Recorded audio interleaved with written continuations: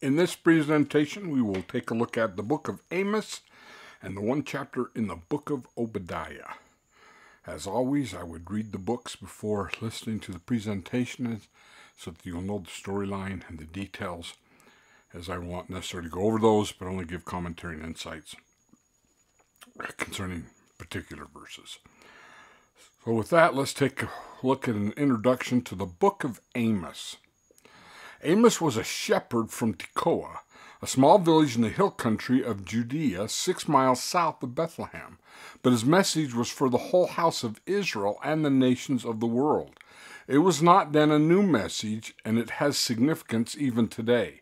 Though Amos spoke of the judgments were, were about to descend on the nations surrounding Israel and on the two kingdoms of the house of Israel, his message is the same one God has given since the early history of the world. It is a simple yet profound message that carries a solemn warning. There is a way to come into God's favor and gain eternal life. That way is always open to the penitent and obedient, but to the impenitent, those who harden their hearts against the Lord, the way is shut. In the place of life there is death, in the place of joy there is sorrow. Punishment replaces blessings, judgments and destruction replaces protection and power. His ministry was about 750 BC, which would make him contemporary with Isaiah and Hosea. His preaching was mainly directed to Israel, the kingdom to the north of Judah, which was prosperous, even wealthy. Greed, corruption, and vice reigned supreme in the so called upper classes of society. The social lot of the poor classes was pitiful. Religion had little real vitality, and the dishonest insincerity and blindness of public officials made it possible for the strong to exploit the weak. Morals seemed all but forgotten. Into such a society walked the prophet of Tekoa and announced it with such vigor, clarity of thought, and authority that his message is still eagerly read and applied to modern situations. Well, if you take a look at today in our society, does not greed, corruption, and vice reign supreme, not in just upper class society, but almost in every class of society? Is not the lot of the poor exploited? And righteousness is forgotten, and justice does not seem to hold sway today. So, as we study the book of Amos, think of today, and that the judgments that are pronounced upon the nations then because of these things will be the same judgments pronounced upon the world today because we are going down a similar road. Let's take a look at a prologue The Lord Roars from Zion. The first division dealing with the Lord's threats against the nations is masterly in its conception and execution. The prophet adopts a theme. The Lord roars from Zion and utters his voice from Jerusalem. From Joel 3:16 which refers to the judgments of the latter days and applies it to God's judgment, coming judgments on its eight nations, including his own country Judah, but more especially Israel. In the words of Professor McFadyen, the clear eyes of Amos saw the symptoms of rottenness and inevitable decay. And the words of his first recorded message are that Jehovah, the God of his easygoing people, would roar from his temple in Jerusalem, like a lion just before he made his spring.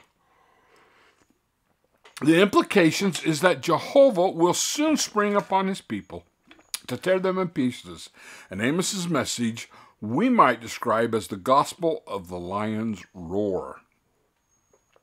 The prophet spins a web about his listeners and at the same time holds their interest by first pronouncing God's judgment upon successive nations outside of Israel.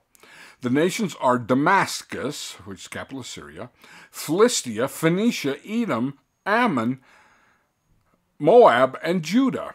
Amos begins each of his denunciations with the words, Thus saith the Lord, for three transgressions, yea, for four, I will not reverse it. By three transgression is meant much sin. One sin is then specified out of the many to justify the coming judgment upon each nation. Amos's words thrill and delight his audience, particularly his pronouncements upon Judah, its hated rival kingdom.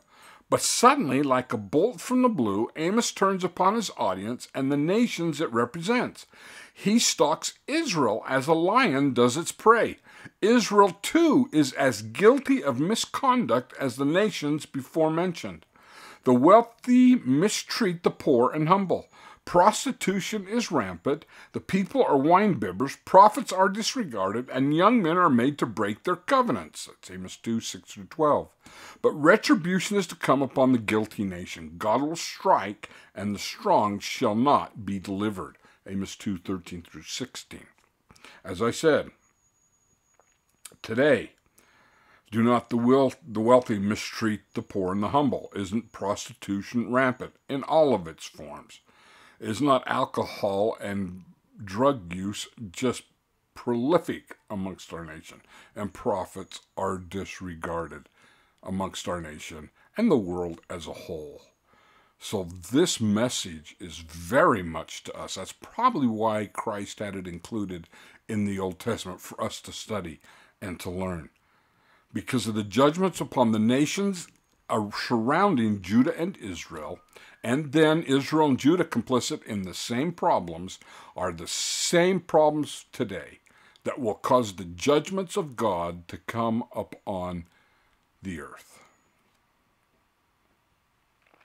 Well, if we take a look, here circled in red, and this is my YouTube channel, and so I have a computer slide here showing this for those who are just listening in uh, audio format only. I have the different nations that are given judgments again. Amos 1 3, chapter 3 to chapter 2, verse 5. We have Damascus, Philistia, Phoenicia, Edom, Ammon, Moab, and Judah are the nations that Amos pronounces judgments coming from Jehovah. As you can see, forming a web around Israel or Samaria. And so all of these nations will face the judgments of God because of their wickedness. Amos 2 5 through 16, coming judgments against Israel. And so in Samaria. And so the northern part up here of Samaria, and then the southern part down below where Judah is, they also will have the coming judgments against them because of wickedness. Amos 1 through 3 says, Thus saith the Lord, for three transgressions of Damascus, and for four, I will not turn away the punishment thereof.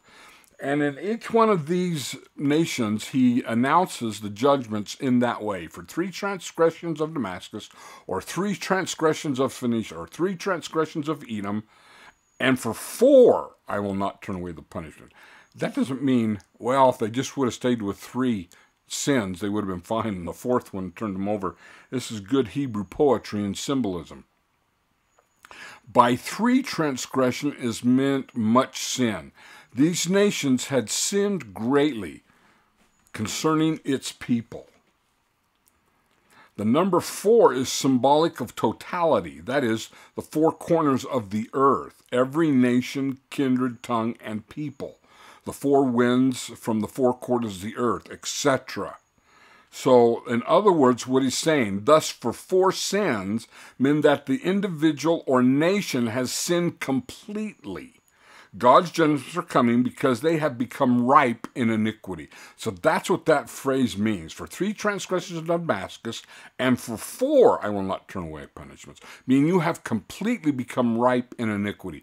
Therefore, my judgments cannot be turned away. The justice of God must come upon you. And so you can see the green Samaria. South of that would be Judah, which Obviously, I didn't mark on there, but you can see that below. And so, because they have completely become ripe in sin, the judgments of God are coming. So, with that, let's take a look at Amos chapter 2 through 3 Jehovah's judgments upon the wicked. Let's take a look at these particular judgments upon each of these nations. Here the prophet Amos forecasts the Lord's judgments upon the Syrians, the Philistines, which is Philistia, Tyrians, which would be Phoenicia, the Edomites, the Ammonites, and Moabites. All of these people were neighbors of the Israelites and in most cases had been enemies to the covenant people. Once those judgments had been pronounced, Amos outlined the judgments coming upon the kingdoms of Judah and Israel. His linking the two kingdoms of Israel with other nations suggests that Israel was no longer a peculiar people, but had become like the Gentile nations around them. See, that is the problem. Now, we have to talk about this word peculiar people. We use it in the church a lot, and it doesn't mean what we think it means. We keep, keep using that word. I don't think it means what you think it means. A famous movie quote. Peculiar does not mean to be a strange or weird people. Peculiar comes from the Hebrew word segulah, which means to be uh, separated, means to be uh, separated from something because it's a treasure. It's something valued. It's treasured property. It's property that's owned by someone and he treasures it. He shuts it up to himself. That's what peculiar means. It means uh, like jewels. That's why Malachi is going to use it, the jewels of the Lord. Okay, his jewels. Uh, a possession that someone possesses that they treasure up. Well, Israel and Judah have no longer become a people that Jehovah treasures because they have become just like everybody else. They become wicked, they become diluted and so they're no longer treasured by Jehovah. The reason given by Amos in his pronouncements of the judgments upon the various nations may seem puzzling at first. One could question whether one evil act, no matter how serious, normally brings the judgments of God upon a nation. Amos was inspired to use a poetic device. He selects, selected the act or trait of each nation that dramatically illustrates the extent of their wickedness. The one act mentioned is proof of how far that nation had sunk in iniquity. The following table summarizes the items mentioned and their significance. So even though he's only mentioning one sin that each one of these nations committed, he's using this as symbolic of maybe something that is overall enreaching that has totally consumed them. And this, this is symbolic of their ripeness in iniquity. And so that's what he does in chapters 2 through 3. So in chart form, let's take a look at Amos chapters 2 through 3, each of these nations, and what's the one sin that's symbolic of being ripe in iniquity does Amos mention against each one? The nation Damascus, uh, being the capital of the nation Syria thy threshing they they thresh Gilead with threshing instruments of iron. That's Amos 1 3. So that's the sin that he brings up of why judgments are now coming. Well, what is the significance of that? Gilead was part of the land on the east side of the river Jordan, inherited by the tribes of Gad, Reuben, and Manasseh. When the Syrians conquered it under Hazael, they eventually treated their captives with barbaric cruelty, crushing them under thresh under iron threshing sleds. Can you imagine being crushed by an iron threshing sled? And so that cruelty is just symbolic of how cruel and depraved that uh, the nation of Syria had become. Gaza, the Philistines, is the next nation. They carried away the whole captive of Edom, Amos 1 6. Well, what was that significant of? This passage seems to refer to the time when the Philistines raided Judah under the reign of Je- Je- Jehoram. That's in 2 Chronicles 21 16 through 17. They sold all their captives to their arch enemy of Israel, the Edomites. And so coming in, conquering them, and then selling them as slaves, captivating them, and profiting. Human trafficking is what we're saying here. So Tyrus or Tyre, so the nation of Phoenicia, they delivered up the Israelites captive to Edom. Amos 1 9. Like Gaza, Phoenicia also sold Israelite captives, although it may be that Phoenicians bought the captives from other enemies of Israel, such as Syria, and then sold them to Edom, since there is no record of Tyre capturing Israelites directly. So they were also involved in human trafficking and selling people for money, slavery, all of that. Do we have that today?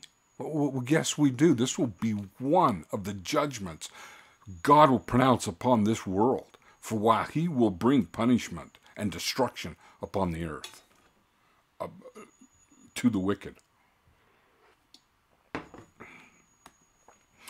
Edom, or Edomia, the nation of Edom, pursued his brother with the sword and, and kept his great wrath. That's Amos 111. Well, that signified the Edomites were the descendants of Esau, whose name was also Edom. Thus, they were closely related peoples, brothers to Israel, but showed only bitter hatred and hostility. The Edomites were some of Israel's most determined enemies. And so, because of their wrath, because of their hatred, their animosity, uh, going to war, seeking to destroy them, that is why judgments will come upon this nation and these nations. Well, do we have hatred, animosity, anger towards people today? Ammon, or the Ammonites, Rabbah was the capital of Ammon. They ripped up women with child of Gilead, Amos 113 meaning the incident mentioned here is not recorded in the Old Testament, but the Ammonites were a fierce desert people who often conquered parts of Israel.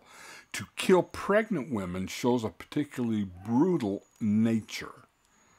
So the one sin that stood out that represents their ripened iniquity is killing the unborn children inside of women. Hello?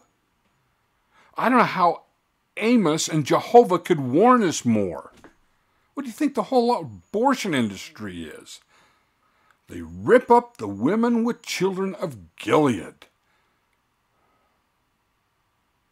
The destruction it does to women and the obvious destruction it does to the unborn child. You don't you think we're going to escape judgments of God because of this religious sacrament that is practiced in this world called abortion on the altars in doctors' offices. So that women won't be held responsible, so they can not lose their figures, so they won't lose their job because they can't be inconvenienced, or whatever hundred thousands of reasons. We all agree that the life of the mother, incest, and rape, yeah, but that is the small little percentage. The wholesale abortion because of inconvenience and because of Satan's influence upon mankind. Like I said, to some it is a religion. This is their sacrament to their God. The Moabites, the nation of the Moabites, says the king of Moab burned the bones of the kings of Edom, Amos 2.1. What does that mean? Keil and Delitzsch make the following note. The burning of the bones of the king of Edom is not burning while he was still alive, but the burning of the corpses into lime. That is, so completely that the bones turned into powder like lime. No record has been preserved of this event in the historical books of the Old Testament, but it is no doubt connected with the war referring to in 2 Kings 3, which Joram of Israel and Jehoshaphat of Judah waged against the Moabites in company with the king of Edom. So that the Jewish tradition found in Jerome that after this war the Moabites dug up the bones of the kings of Edom from the grave and heaped insults upon them by burning them to ashes is apparently not without foundation. So again, just utter destruction and contempt and hatred of your enemies.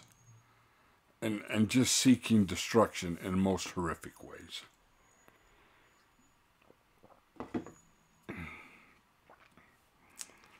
Well, those were the nations that were the Gentile nations, the sins that they had committed had become ripe in iniquity. Amos said, Now Israel and Judah has participated in their own. Let's take a look at what their sins were that was now going to cause their destruction. Uh, the Assyrians destroying Israel, and later the Babylonians destroying the kingdom of Judah. Amos chapter 2, verses 14 through 16, the punishments of Judah and Israel. The reasons for the punishment of Judah and Israel differ from those from the punishments of the Gentile nations. No acts are mentioned except for the forsaking of the Lord and turning to wickedness. Israel had been given the law of God, therefore, more was expected of them. Panting after the dust of the earth upon the head of the poor, that's verse 7, this is in chapter 2, refers to the people being generally oppress, oppressors of the poor showing them neither justice nor mercy.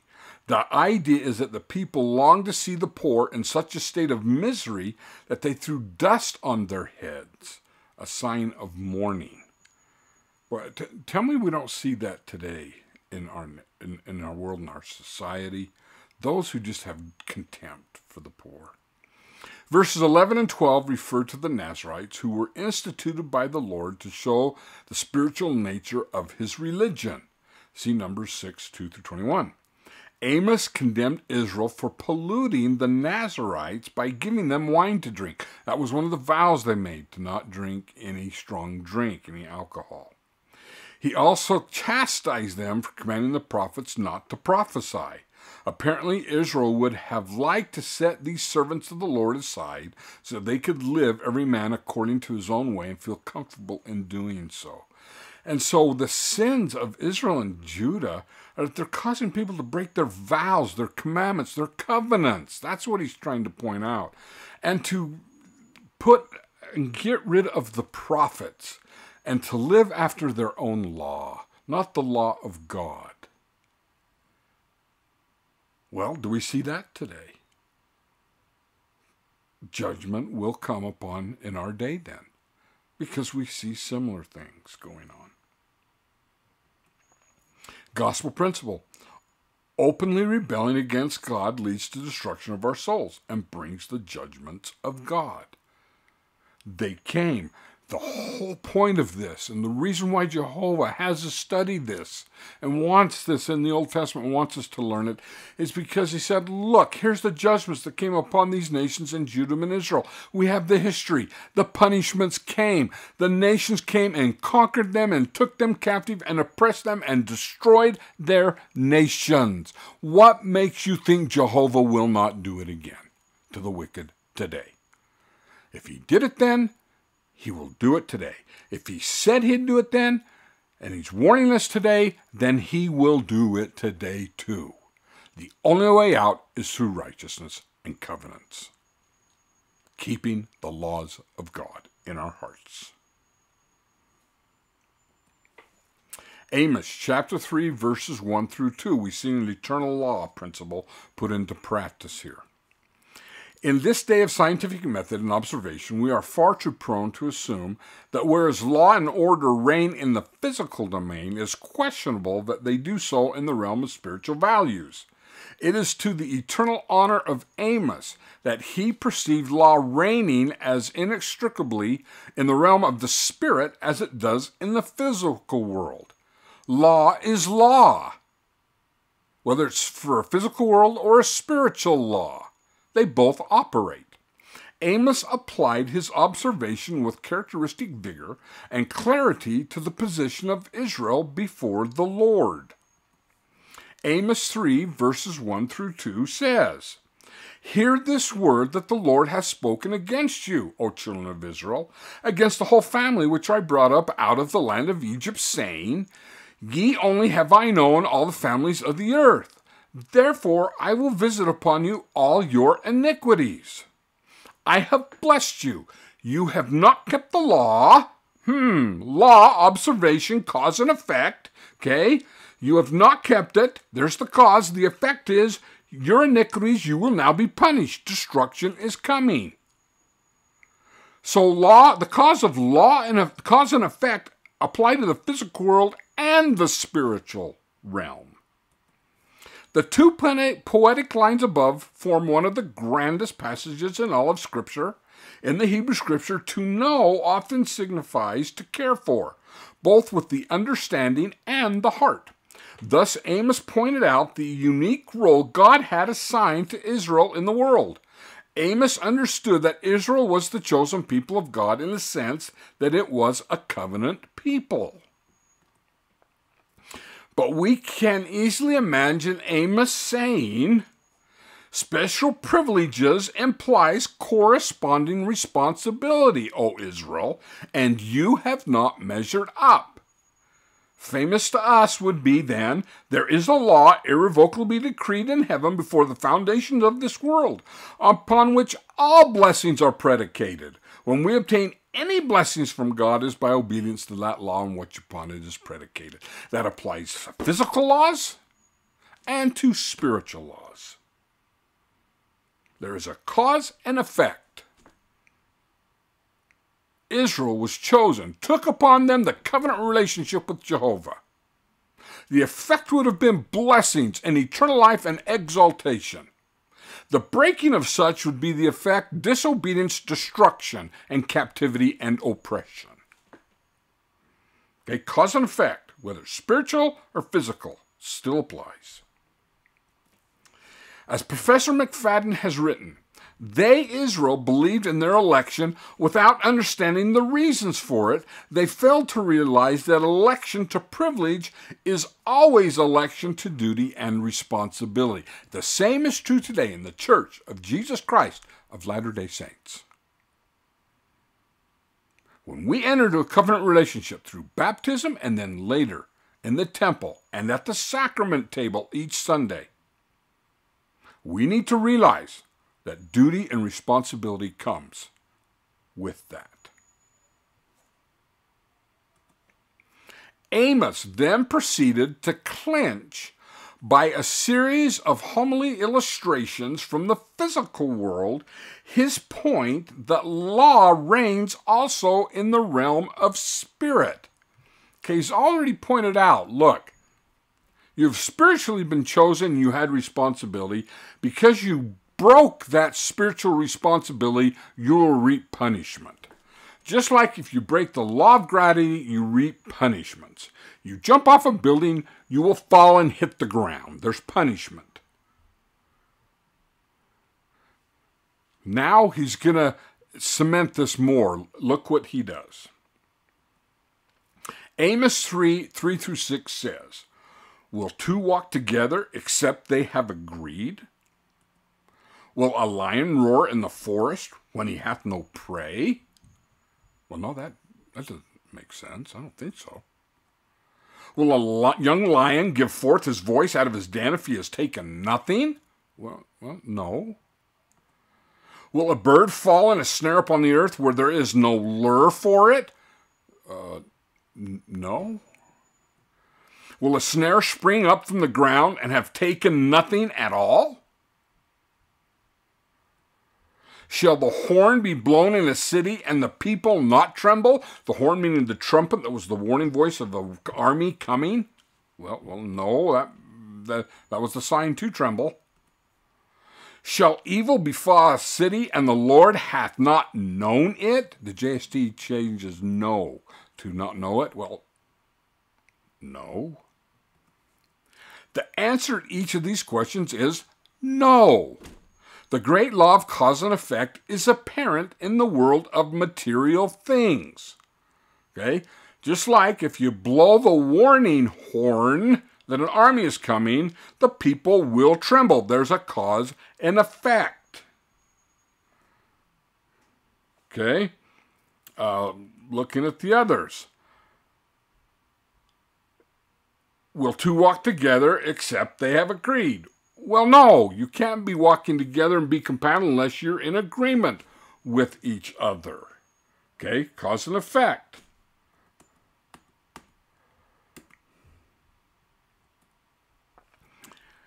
There is little or nothing we know of that is isolated or haphazard.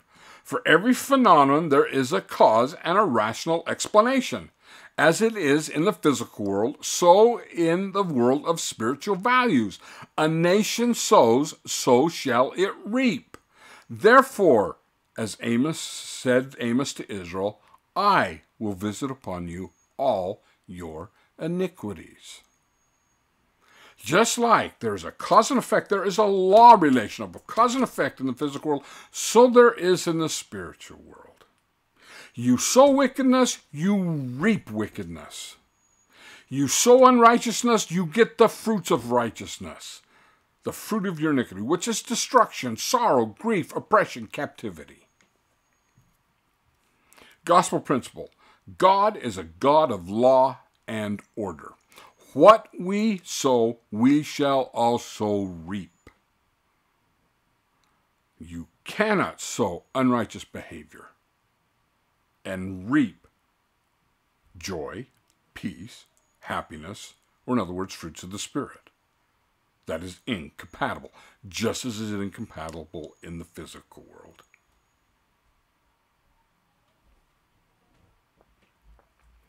Well, Amos 3 7 through 8, the Lord reveals his counsel to his servants, the prophets. There is another law in effect.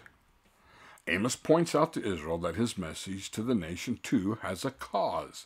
He appears because the Lord has confided in him and has revealed to his servant the coming doom of Israel. Prophets are the men unto whom God gives counsel and revelation, and woe to the nation that heeds not what they say. That is how God works. He will always send his servants, the prophets, to reveal what is to come. Just like 2 Nephi 27:14 says, Wherefore the Lord God proceeds to bring forth the words of the book and in the mouth of as many witnesses as seemeth him good he will establish. And woe be unto him that rejecteth the word of God. Amos 3 7. Surely the Lord God will do nothing but reveal his secrets unto the servants his prophets. And woe unto him that rejecteth the word of God through his prophets. There's a cause and effect relationship. Reject the words of the prophets, and you will reap sorrow and captivity. That is what he's trying to say here. I have come to warn you. You have been wicked. There's a cause. The effect now is me coming, and to warn you that destruction is imminent unless you repent. So today, we have them. It will be to our own peril if we do not heed them. You would be an idiot not to. Amos 3 7, as I said, For the Lord will do nothing until he revealeth, until was added by Joseph Smith, his counsel unto his servants the prophets. The lion hath roared. Who will not fear? Duh! The Lord hath spoken. Who can but prophesy? In other words, this is a no brainer, as we would say in today's vernacular. Prophecy comes by direct revelation. God has knowledge of all his children and their doings, and justly warns and threatens with his judgments. The fact that the prophets prophesy correctly is an indication that they are in communion with God and that they do indeed walk together.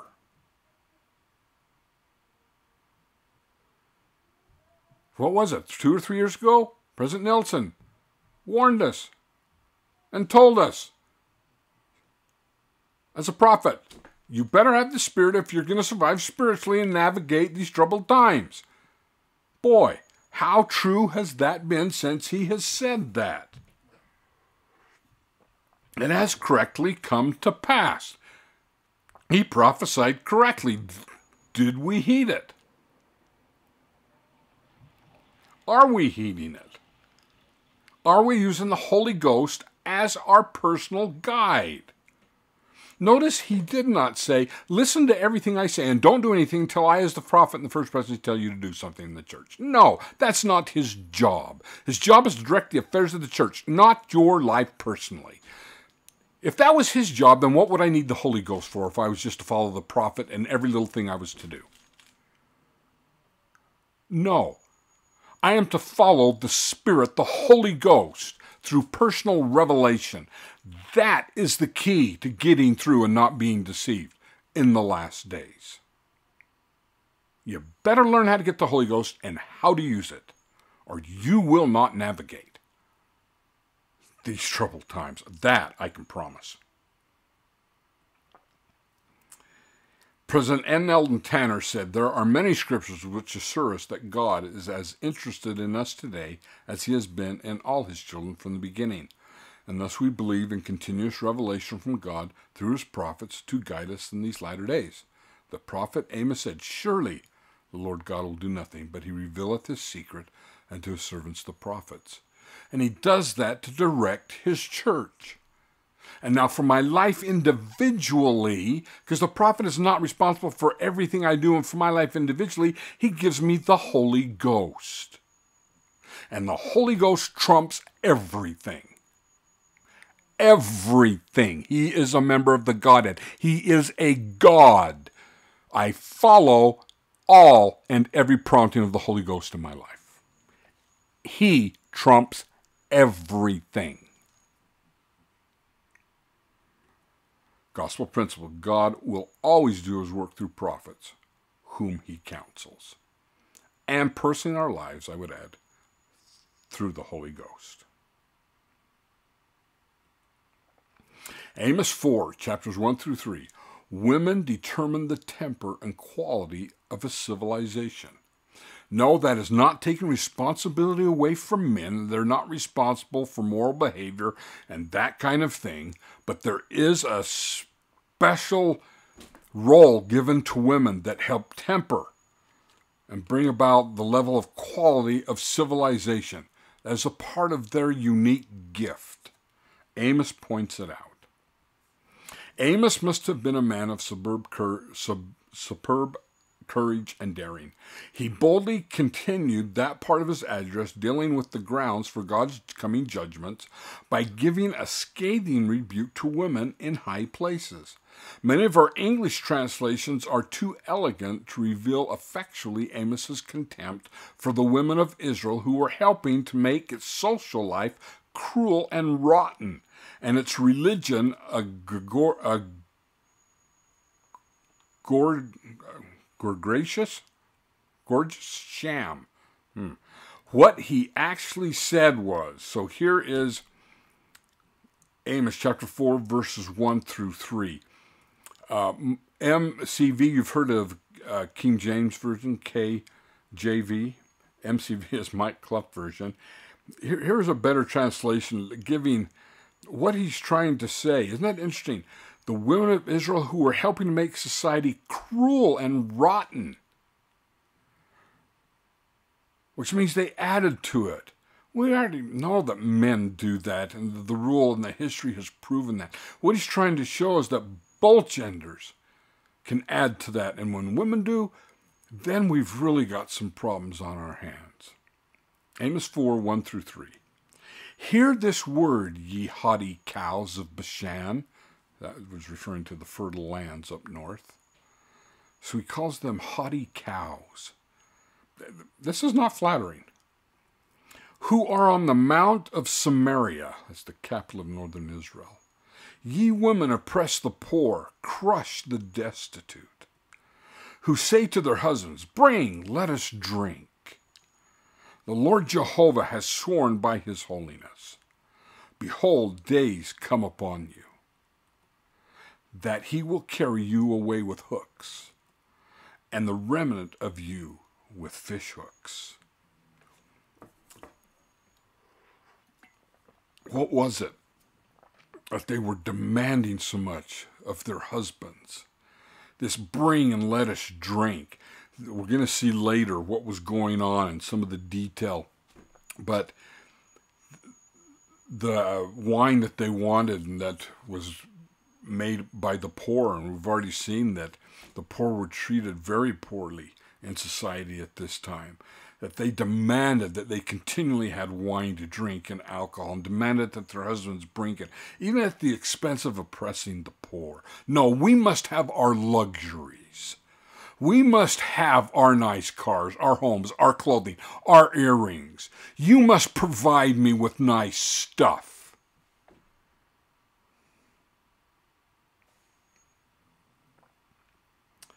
And you shall go out of the breaches, every one straight before her.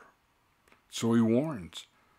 Because of the demands the women were now putting upon their husbands. We've already seen that the king and the priest and the stuff, they've already become corrupt. The leadership, the male leadership, all become corrupt, and now the women are of the upper class demanding the luxuries at the expense of oppression of other people. he says, Your days are coming that you will now be oppressed. You'll be carried away with hooks and with fish hooks. See, that's literally going to take place when the Assyrians come to northern Israel and take them away. So that the captives would not leave and flee, they would put these hooks in their jaw, a fish hook, a big fish hook, and tie ropes to them, and that way they're all tied together. And when you pulled, you would follow with that hook in, in your jaw and all the slaves and all the captives together. Yeah, and that's how they would lead them along, and so they wouldn't escape. And you shall be cast into Hamon, ha, I'm sorry, Harmon. That means a foreign land. And so they were. They were taken captive to Assyria. Saith the Lord. Amos compares the woman of Samaria with the fat and well fed cows roaming on pastures to the east of the Sea of Galilee. These rich, voluptuous, and violent women were qualified partners for their lords, whom Amos has already denounced, who store up violence and robbery in their palaces. That's in Amos 3:10. See, the men have already done this, and now their wives are now complicit in this. The ones who should be who should be begging and trying to subdue their husband, please don't be so oppressive. They're now complicit in it. The sin of these sleek women consisted in their tyrannical oppression of the poor people by requesting their husbands to procure them wine brought with money squeezed from their victims. It was the poor that had to produce it. And regardless of the state of the poor and their condition, these women demanded they continually had their luxuries. And we're going to see more clearly, not just wine, but this was symbolic of luxury. The demand at the expense of others that I have my luxuries.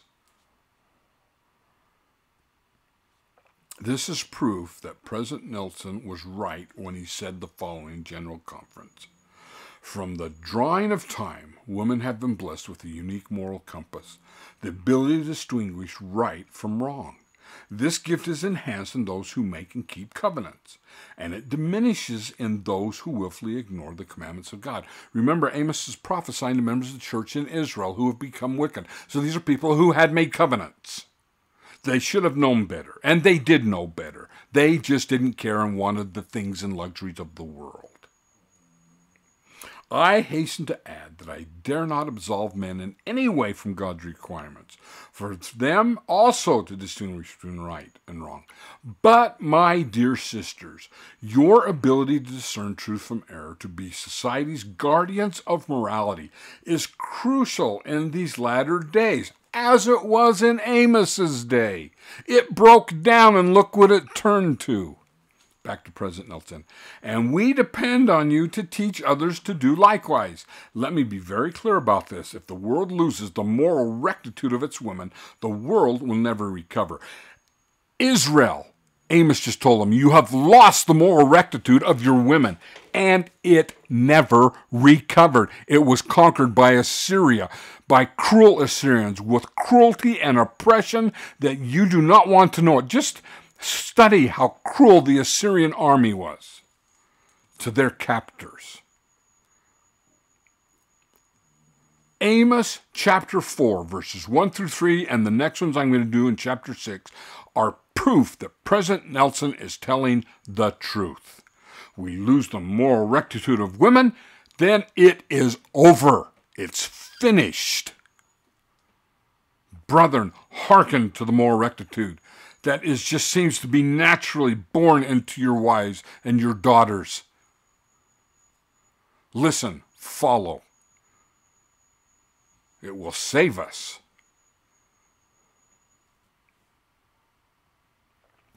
We Latter day Saints are not of the world. We are covenant Israel. We are called to prepare a people for the second coming of the Lord. The rect- moral rectitude of the women in Amos's day fell. And they never recovered from it. They never recovered. And so will this world. John E. McFadyen, scholar, wrote A country is largely what it, women make of it. If they are cruel or careless or unwomanly, the country is on the road to ruin. But these cattle on the hills of Samaria, of whom Amos flings his words of scorn, are worse than the cattle on the hills of Bashan. For they have done what no animal could do. They have made coarse pleasure and deliberate end of life. They are fit partners for the Lord's already denounced. Drink, as we have seen, was one of the national perils of the day and no sight can be uglier than a drunken woman. Intemperance and cruelty went together then, as they do so often still. When women who should be pitiful sink, sink to such depths of shame and heartlessness, it must be made plain that God will soon appear to mete out to them what they had meted to the poor when a women of society become just as debauched and immoral and degraded as the men who naturally struggle with this and have to fight it all the time, women seem to have an inborn innate sense of not and of being helping to temper, temper the male gender. Yeah, male gender, I said it. There really is a male gender. And to temper that and to help that when they now sink to the depths then judgment is coming. And so we see today the feminist movement in the United States and the world. Their whole goal is to sink to the depths of the male gender of depravity. We can have illicit sex like them. We can kill like them. They kill in wars. We'll just kill our babies. We can be rough like them. We, we, we can be coarse like them we can be profane like them. That's, that's what feminism is about. And this is where it leads to. Like so many fish pulled out of their element with fishhooks, these women, with all their luxury, would be taken in hand by Israel enemies. They would be insulted, abused, and cast around like old rags and cast into a foreign land. In sorrow and shame, they would realize that repentance came too late. Thus, in the same way that fish are caught with hooks and pulled from the pond, these women and their children would soon become ensnared by Israel's enemies and violently torn from their affluency and debauchery.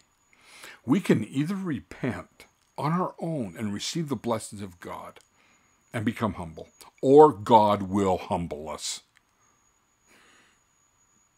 He will take all away from us that we have. So we can either choose to be humble and get blessed, or we can have all taken away and become humble and oppressed. It is up to us gospel principle, women too have a leading role to play in the salvation of this world. And do not let Satan convince you otherwise. That you have a significant role, and do not let him convince you or distort or deceive you of what that role is. Well, how bad was their sin? How bad was this really between the women in Amos? And what was going on between the men and women. Let's take a look. This is found in chapter 6. I know we're jumping ahead, but these two go together.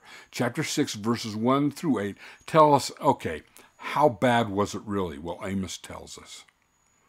Amos turns his invective on the careless and reckless rich of Israel, on those who are at ease, on the self satisfied and the arrogant. Well, that describes today. We're at ease. We have I'm not talking about the millionaires. We're talking anybody that lives in the United States. We are so wealthy compared to anybody else in the world, and have so much ease. In short, on those who, having plenty, take no thought of the sad social and religious state of their country. These persons are absolutely indifferent to the threatened ruin of their people. The prophet indicates that exile is to be their portion, that the nation is to be destroyed because its inhabitants pervert truth and righteousness and trust in their own strength. That is an exact description of today. That's why we've got to study this in the Old Testament, because that's us in society as a whole. Well, let's take a look, starting with verse 1 read these verses. I'm going to go through them. Well, I'll go through them. Actually, I'm going to read the verses and give commentary on each one on what's going on. Woe to them that are at ease in Zion, and trust in the mountain of Samaria, which are named chief of the nations, to whom the house of Israel came. At ease meaning careless, arrogant pride, a false sense of security. Woe to them that trust in their riches, not because we're wealthy and things are going well. And at this time in their history, Israel is very wealthy. The economy is going very well. Woe unto them that find security in this. Trust in the mountains of Samaria phrase meaning they trust in their wealth, their position, themselves. See, remember Nephi? I think it's 2 Nephi 28. Woe unto them that are at ease in Zion. This is the exact same thing meaning that are careless, arrogant, prideful. So we know that arrogance and pride, a false sense of security in material things are what's going on in the church and in society. I put the church in together because that's the society we're talking about. Israel, the church members. 6 2. Pass ye into Calneh, and see, and from thence go ye to Hamath, the great. Then go down to Gath of the Philistines, be they better than these kingdoms, or their borders greater than your borders? Isaiah is saying he invited them to visit other places of destruction that the Assyrians have, have uh, destroyed. Calneh in Mesopotamia, Hamath in Syria, and Gath in Philistia. And observe what happened to these people there. Go and see what Assyria has done to them. Were the Israelites any better than they? See, they would have said, Yes, we are. We're the covenant people. That's how arrogant they were. In their self righteousness, they thought they were keeping the law of Moses. Oh, they kept the outward forms of it, but in their hearts they weren't. They would go to church and partake of the sacrament, but it didn't mean anything, it didn't change them any. They had been punished, and so would Israel. If he didn't spare them because of their wickedness, what makes you think he's going to spare you, Israel? That's what Amos is saying to them. You see what's going on in their society and their wickedness and the level of it? Verse 3 Ye that put away the evil day and cause the seed of violence to come near, meaning they refuse to think of the coming tribulation. Oh, things aren't that bad. Things are okay. We've got plenty of time to repent. It's okay. It's not da da. They enthroned violence in their midst. They condoned violence. They accepted violence. They participated in violence. They didn't get rid of it. Does that sound familiar? They use violence to probably get means and, and, and, and, and to gain wealth and position. And so we're getting to see what's going on. This is how bad their sins were. Now remember, this is happening amongst all of society. The men and the women are participating. Usually, these things I've talked about so far, are usually just men, and we know that men and that other nations and kings, they've all done these kinds of things, and that the natural man and the pride of man has come out. But what we're saying is women are now participating and going along and lusting in all of this too. Chapter 6, verse 4 They that lie upon beds of ivory and stretch themselves upon their couches and eat the lambs out of the flocks and the calves out of the midst of the stall. I don't know if you can, can't you just picture that? You can picture the luxury and the ease and their arrogance and their pride as they have their beds of ivory. They stretch themselves out. They have lavish meals. No shepherd would eat their own flocks. They were used for wool and other things. Oh, they don't care about the flocks. We just want the food, the luxuries, and the calves. Out of the midst of the stall, the best, the ones taking care of the best. Reclining at meals was a custom introduced from the Far East. The, not- the notables, the notables, meaning the nobles, now stretch themselves out in looseness. Luxury and idleness are implied. They have luxury, then they have idle time to do idle things. Does that sound familiar?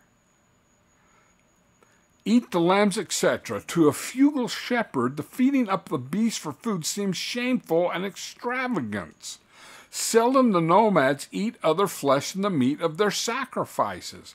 But it, it, but it be some beast that will not thrive or is likely to die in their hands. They would eat those. But now they go out of the best and just take the flocks and eat. They're that luxurious. They have that much idle time. They have that much wealth. And so they participate in idle things and things that breed arrogance and pride.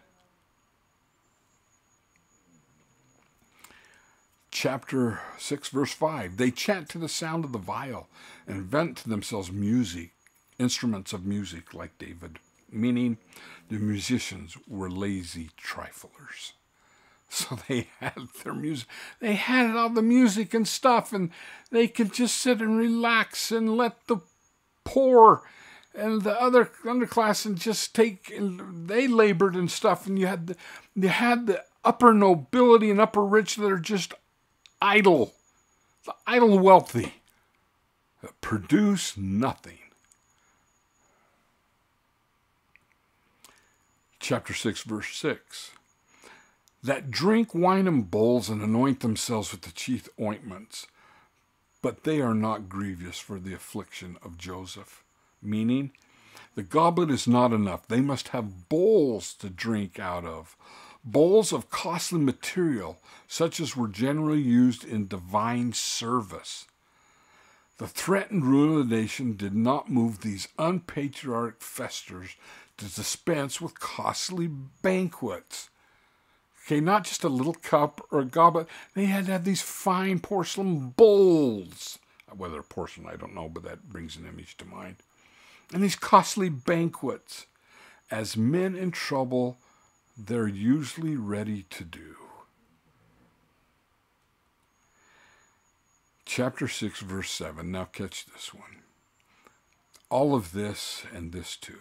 Therefore now shall they go captive with the first that go captive. Here's who will go captive first. And the banquet of them that stretch themselves shall be moved. Now, let me retranslate that to a more literal translation. As I'm saying, the King James Version is very genteel here and very kind. Here is what that really means. A better translation giving a clearer meaning of the sin they were committing would be this. Therefore, now, shall they be first go captive, those who were unrestrained in rivalry, meaning sexual orgies. In Hebrew, it's called merzeach. That's what Israel was doing. That's what members of the church were doing. That's what was going up with the society because of the wealth and the richness and the idleness and the arrogance and the pride. They were having these large banquets that were also full of sexual orgies. Do you see why Jehovah is just a little ticked off? And he warns, tells Amos to warn them, I will now destroy you. Think of all of our sexual impurities that our society commits because of our ease and our arrogance and our luxury. One click on the internet, and you can see some of the most vile stuff. Chapter 6, verse 8. The Lord God hath sworn by himself, saith the Lord God of hosts, I abhor the excellency, meaning the pride, of Jacob, and hate his palaces. Therefore will I deliver up the city with all that is therein. That one doesn't need any explanation. Verse 9 And it shall come to pass, if there remain ten in one house, that they shall die. The city is besieged, and if there is a house in which the pestilence has left ten alive, their turn shall come. That's what that means. Don't worry, it'll come upon you too. Verse 10 And a man's uncle shall take him up, and he that burneth him, to bring him out of the bones out of the house, and shall say unto him that is by the sides of the house, Is there yet any with thee? And he shall say, No. Then shall he say, Hold thy tongue, for we may not make mention of the name of the Lord. Clarification. It was the duty of the next of kin to see to the disposal of the body, and that while interment was the almost universal rule, cremation might be resorted to in special circumstances. The plague stricken man in the inner rooms of the house must not defile the Lord's name by uttering it in the immediate presence of death, showing how bad things would get. They would turn to cremation. And you're not to utter the Lord's name in the presence of death verse 10 is how bad. Hold thy tongue. Do not make mention of the Lord's name. There is death surrounding us here. It would surround them. All because of their corruptive immorality amongst men and women.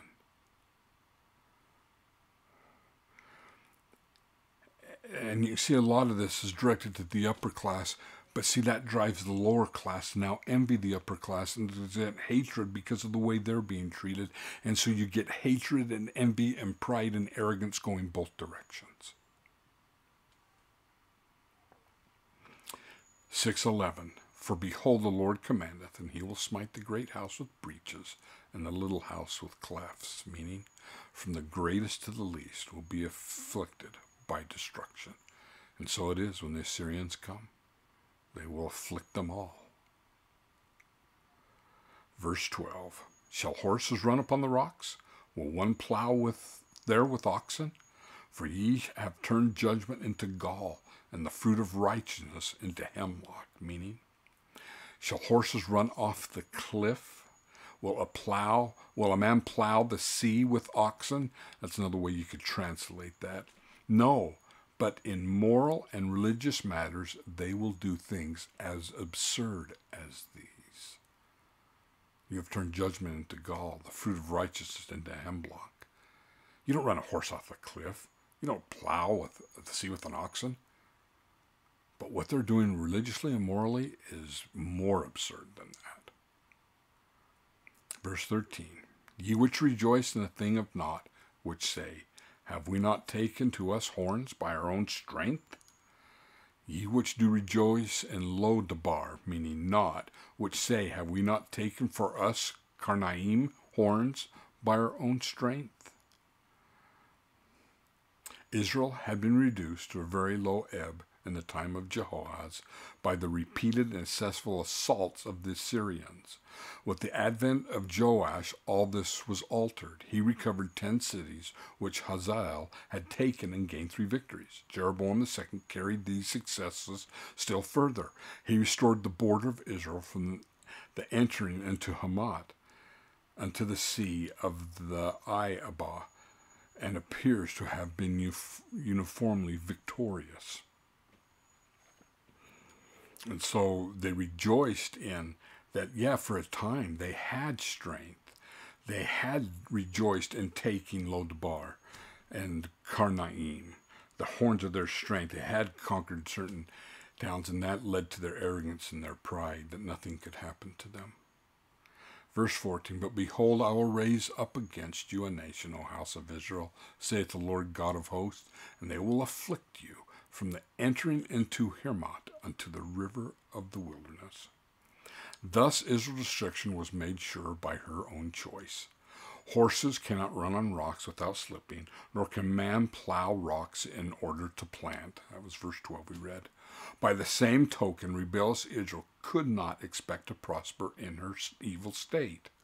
Verse 13 is an indictment against Israel, who rejoice in casting off the Lord's power and feeling sufficient in and of herself. See, that's what I just read about Lo-debar and the other place that they had gained some victories and done some things, and so they're casting off the Lord. Look, look how powerful we are without him.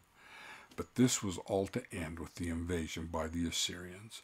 Within 30 years, what Amos had predicted was fulfilled. That's all it took 30 years after this prophecy. And Israel is destroyed. And sisters, this last General Conference, the first talk from the senior apostle, President Russell M. Nelson, of the First Presidency, the words out of his mouth of his first talk was for us to stop abusing people physically, emotionally, mentally, sexually. That's the first message out of his mouth. I think Amos is coming to warn us. Amos 4, verses 4 through 13, going back now to chapter 4. How did the Lord regard Israel's spiritual condition? The sacrifices of Israel had degenerated into heartless ritual. It did no good to go to religious centers, to Bethel or Gilgal, and offer sacrifice in a sinful state. The outward sacrifices should have symbolized repentance and inward change.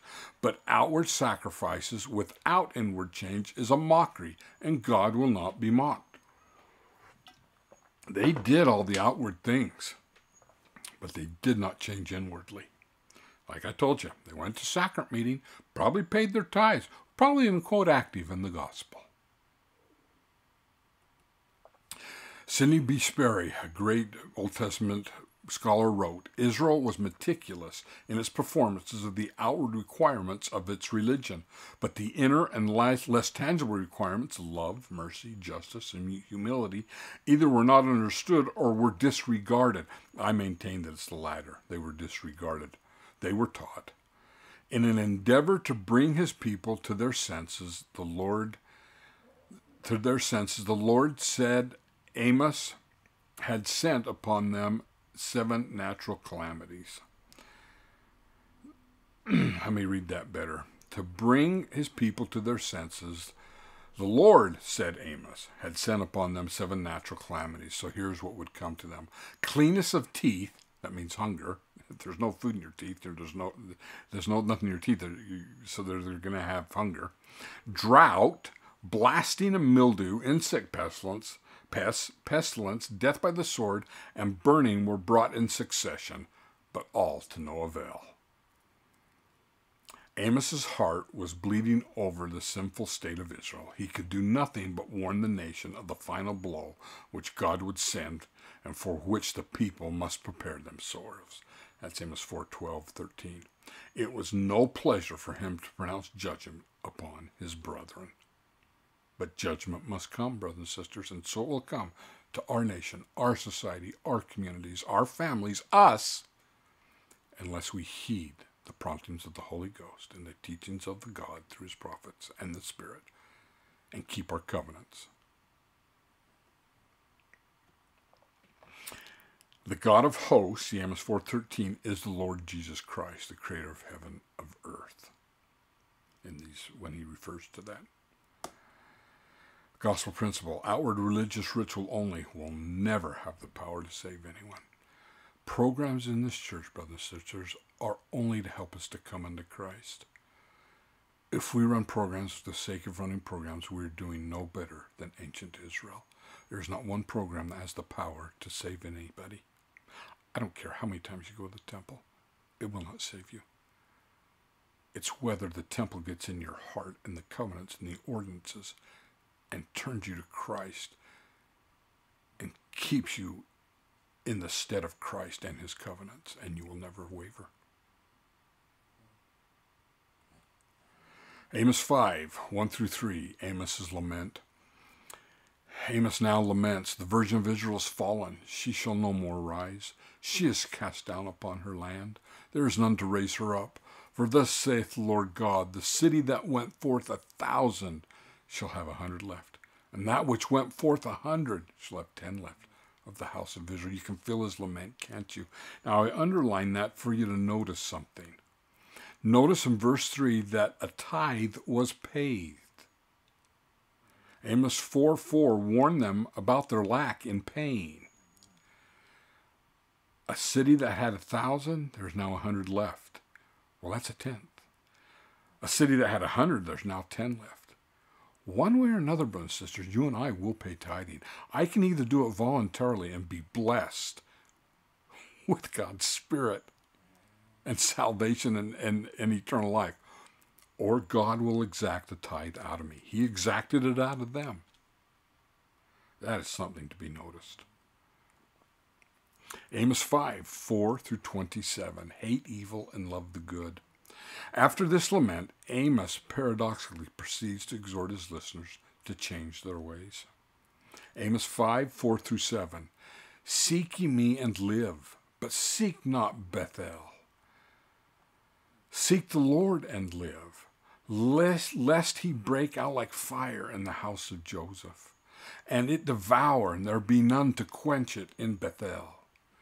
Ye who turn justice to wormwood and cast righteousness to the ground.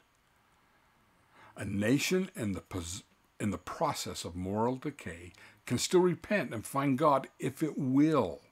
That's what he's trying to say here. And here is the paradox of prophecy. When God makes threats against his people, they are conditional. When God threatens, he is promising. When he comes near in any way, it is for our salvation. God is not obligated to fulfill his threats, but he is obligated to fulfill his promises. So if God warns and says, look, this is what coming, and the, we call it threats because it appears as a threat, then we can still repent. But if he comes and says, Now I'm sorry this will happen, and he promises, then we're in trouble. Amos 5, 8 through 15. Amos 5, 8 through 9 talks about seek and worship the Creator, not the creation, Him who will bring justice and strength to those spoiled by unjust practices. Amos 5:10 Much of the governmental business was done at the gate of the city. Thus society hated those who expected righteousness in government.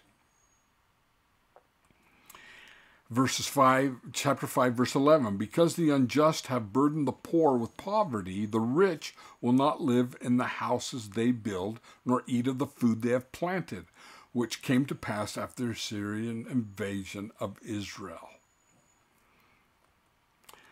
Chapter 5, verse 12 Israel was not hiding their sins from Jehovah. He knew of their unrighteous behavior in the social conditions of the people and government.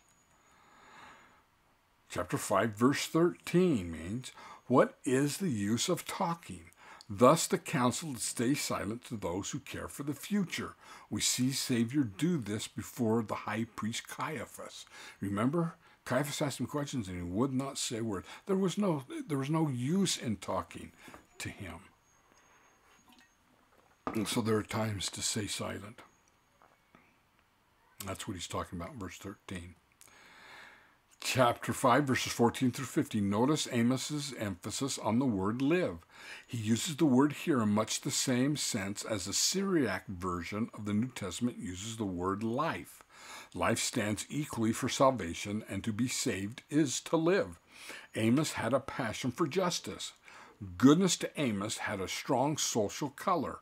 He wanted justice in society and fair play between man and man.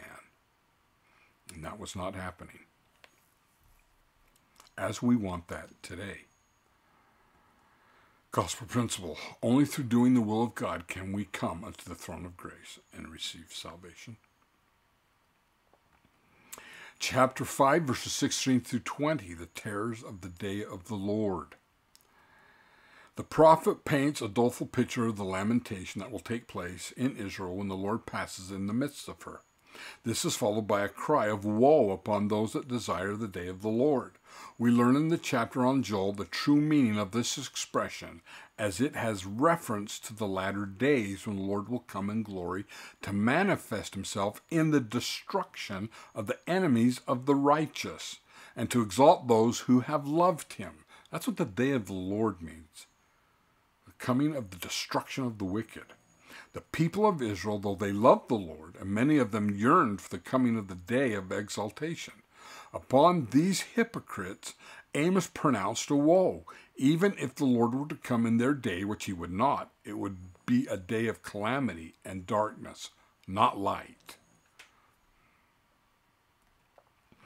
It would be as if a man did flee from a lion and a bear met him, and went into the house and leaned his hand on the wall, and a serpent bit him.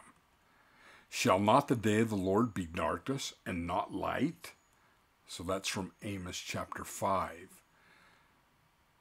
Okay, seeking the day of the Lord when you're not ready for it and you're not repentant is like fleeing from a lion and you meet a bear. Well, that went well. Or leaning against a wall and a serpent is is there on the wall and bites you.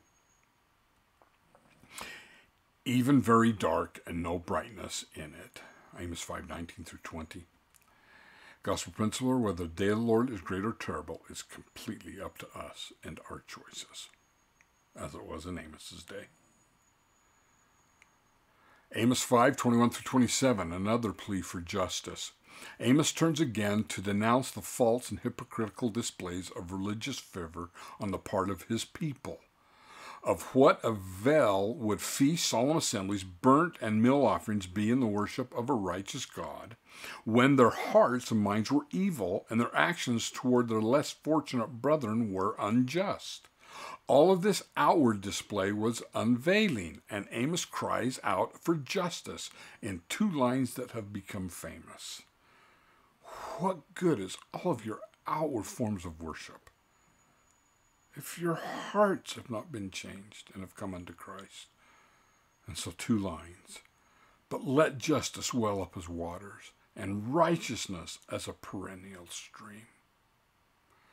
Justice will only come, brothers and sisters, when we are righteous. We will only treat our brothers and sisters as they should be treated when we are righteous. This clarion call to repentance is one of the finest of all times. Gospel principle, a just society can only be built upon the truth of the gospel. All this social justice crap is a satanic substitute. Justice for all will only be brought about through the righteousness, and that can only be brought about through the covenants and ordinances of the Church of Jesus Christ of Latter day Saints. Amos 7 through 9, the visions of Amos. The last three chapters of Amos deal with five visions Amos had. The first four of these visions begin with a phrase such as the Lord hath thus hath the Lord God shown me. The fifth commences with the words I saw the Lord. The fourth the first four visions show the various judgments of the Lord upon Israel, while the fifth vision pretends portends the overthrow of their apostate theocracy and the restoration of fallen Israel. The visions are one, a swarm of locusts, two, devouring fire, three, the master builder with the plumb line, four, the basket of summer fruit, five, the smitten sanctuary. Each has a symbolic meaning that clearly shows that the Lord intended to bring the kingdom of Israel to an end if the people did not repent. The meaning of each vision will be considered individually a swarm of locusts, Amos 7 1 through 3. The king who has had the early grass mown is Jehovah. The mowing of the grass denotes the judgments which Jehovah has already executed upon Israel. The growing of the second crop is a figurative representation of the prosperity which flourishes again after those judgments. In actual fact, therefore, it denotes the time when the, the dawn had risen again for Israel. That's from Keil and Delitzsch, two great Old Testament scholars. So Israel would be mown down, but in the latter days it would once again rise. Devouring fire, Amos 7, 4 through 6. The fire that devoured the great deep, presumably the ocean, is symbolic of the partially destructive wars that Israel was later involved in. Like the fire which did eat up a part of the great deep, Israel land was partly despoiled and many of its people led away. The master builder with the plumb line, Amos 7, 7 through 9. A plumb line is used to obtain exactness and accuracy in construction work. Here it is, seems to symbolize that God's strict justice will prevail in judging Israel for her evil ways. All wickedness will be sought out, measured, meaning judged, and destroyed. The basket of summer fruit, Amos 8, 1 through 9. The harvest of summer fruit symbolized the ripening of Israel. Just as summer fruit must be eaten when picked or it will spoil, Israel was ripe for picking and spoiling by enemies. The sun going down at noon, Amos 8, 9 through 14. A man's sun can be said to set at noon if he is taken by death during the prime of his life. A nation's sun figuratively sets at noon when the country is destroyed in the midst of prosperity. But Amos's dual prophecy is also a reminder that before the second coming of the Lord, the sun will be dark and refuse to give her light. Indeed, it will be a sign for the wicked of the last latter days that the sun is about to set at noon. The smitten sanctuary, Amos 9 1 through 6. From his dwelling place, the Lord will smite the wicked. There is none to escape, hide where they may. Only the second coming of the Lord fulfills such a description. For when the Lord comes in his glory, the rewards of justice will be met. No mountain is high enough, no sea so deep that the unrepentant sinner can hide from the judgments of a just God.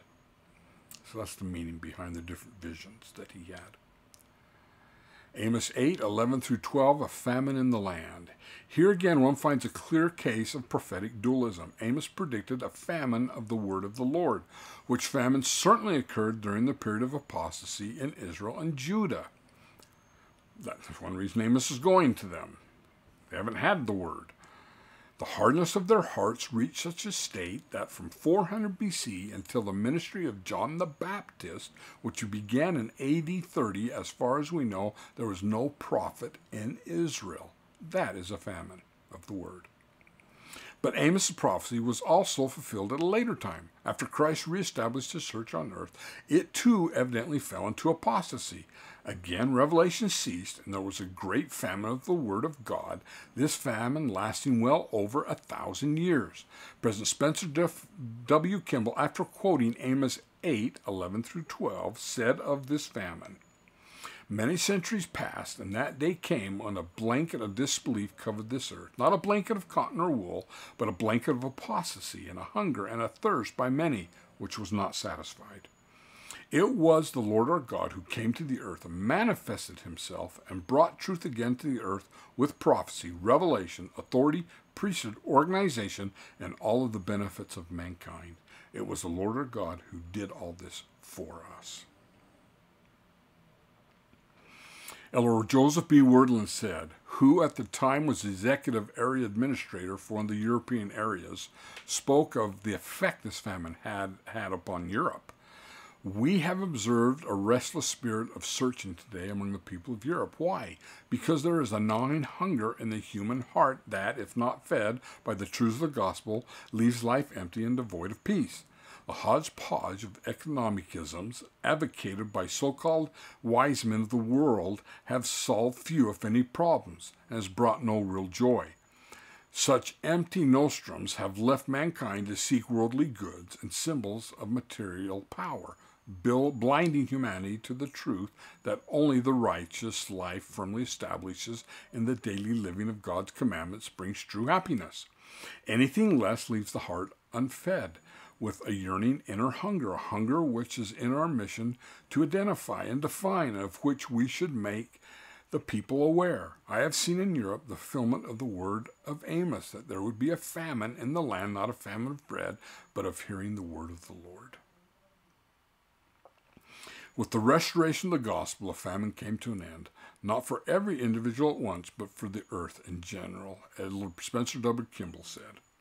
After centuries of spiritual darkness, we solemnly announce to all the world that the spiritual famine is ended, the spiritual drought is spent, the word of the Lord in its purity and totalness is available to all men. One needs not wander from sea to sea, nor from north to east, seeking the true gospel as Amos predicted, for the everlasting truth is available. Well, Amos 9, 7 through 15, I will sift the house of Israel among all nations. Amos told Israel they could not expect deliverance simply because they were the chosen people. See Amos 9 7. The kingdom of Israel, he said, would be destroyed, except for a remnant of Jacob, whom the Lord would preserve because of his mercy. See verse 8. The gathering of the righteous remnant will be such that not one worthy soul will be unnoticed. Verse 9. And the Lord will establish his work, even to the raising of the temple in Jerusalem to its proper place. See verse 11.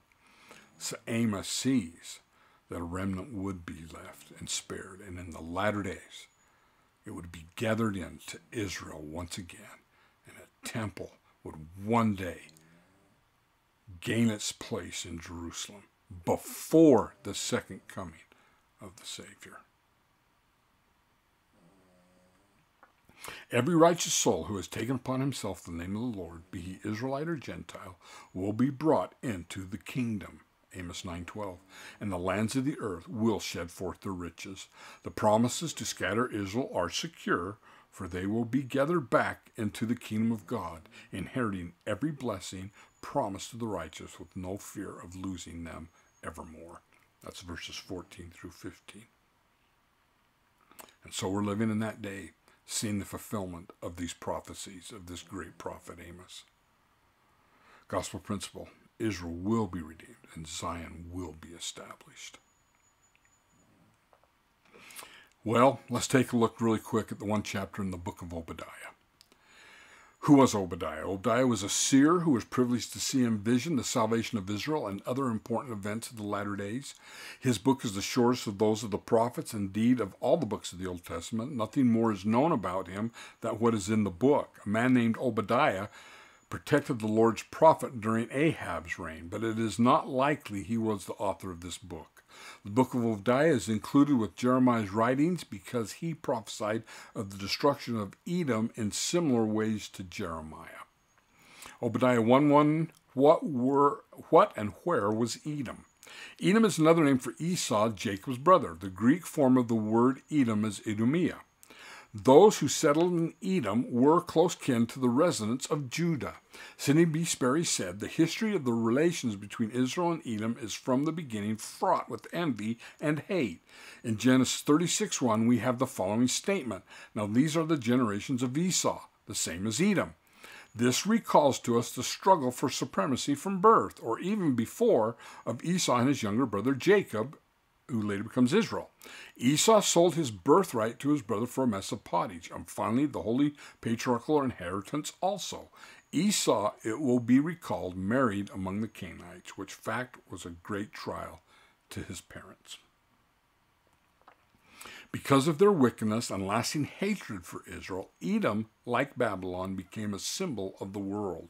You can see that in Doctrine and Covenants 1, section 1, verse 36. Obadiah 1 3 through 9 Edomites lived in false security. The world famous ruins of Petra in modern Jordan are remarkable. A whole city was carved out of rock cliffs. It could be entered only through a narrow gorge. From the high cliffs, the Edomites could protect themselves from invading enemies with great success. Petra, or Mount Seir, was in the land of Edom, and many scholars think it was the capital of Idumea. Though many of the ruins now visible at Petra date from a later period, they still give dramatic impact to Obadiah's words. Obadiah 1 10 through 15, the reason for Edom's mighty fall. These verses summarize the reason for Edom's mighty fall the violence shown against their brother Jacob, and the rejoicing at the destruction of the children of Judah in the days of distress. See verse 12. J.R. Dummelow believed that Edom's destruction was partly due to their assisting Nebuchadnezzar during his siege and capture of Jerusalem. So great hatred and violence between Edom and, and Judah. Obadiah 1 16 through 21, a day of deliverance and rejoicing. These verses have both a temporal and a spiritual meaning for Latter day Saints. If Esau, Edom, represents the worldly wicked, these verses may be seen as referring to the day when Israel will be completely restored and evil eliminated. Mount Zion, a symbol for deliverance and holiness, see verse 17, will be the inheritance of the house of Jacob, whereas the house of Esau will be stubble, fit only to be burned. The house of Jacob will be a fire, and the house of Joseph a flame, and they shall kindle in them Esau and devour them, and they shall not be any remaining of the house of Esau. Verse 18. Eventually, saviors shall come upon Mount Zion to, to judge the mount of Esau, and the kingdom shall be the Lord's. Verse 21. So, this is where the famous line comes of saviors upon Mount Zion. Saviors upon Mount Zion.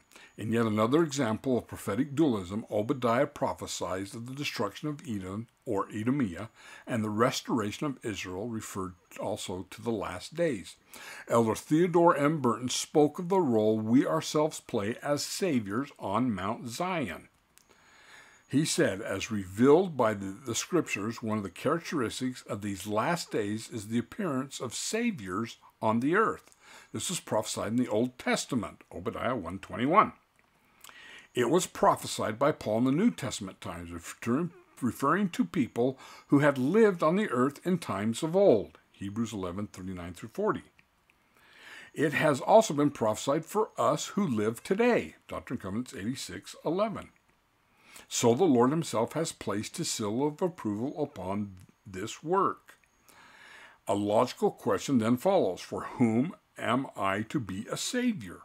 In section 127 of the Doctrine and Covenants, verse 6, the Lord, the prophet Joseph Smith used these words, For your dead.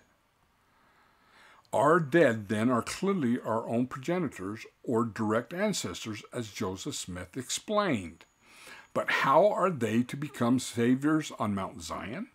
By building their temples, erecting their baptismal fonts, and going forth and receiving all the ordinances, baptisms, confirmations, washings, anointings, ordinances, and sealing powers upon their heads, in behalf of all their progenitors who are dead, and redeem them that they may come forth in the first resurrection, and be exalted to thrones of glory with them. And herein is the chain that binds the hearts of the fathers to the children, and the children to the fathers, which fulfills the mission of Elijah.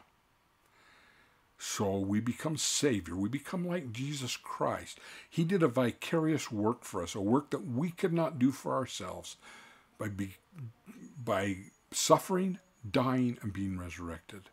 We do a work for those who cannot do it for themselves by doing ordinance work in the temple for our kindred dead.